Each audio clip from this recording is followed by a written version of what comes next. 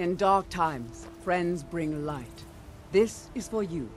Thank you for your friendship.